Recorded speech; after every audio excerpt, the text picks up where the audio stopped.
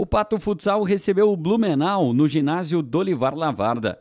Para o Pato, a chance de manter o lugar entre os oito melhores. Já para os catarinenses, um jogo importante para manter a esperança de classificação para as oitavas de final. No primeiro tempo, um confronto equilibrado. O Pato tentando a iniciativa, porém teve dificuldades na hora de fazer o gol. O goleiro Del Duque ia aparecendo com grandes defesas. O Blumenau, quando chegava, não oferecia perigo à meta do goleiro Johnny. Assim, o primeiro tempo terminou em 0 a 0. Na segunda etapa, o mesmo ritmo. O Pato foi conseguir o gol só quando o Blumenau teve uma expulsão. Com um a mais, Tom tentou e na sobra Dudu fez 1 a 0 Pato. Depois outro jogador do Blumenau foi expulso.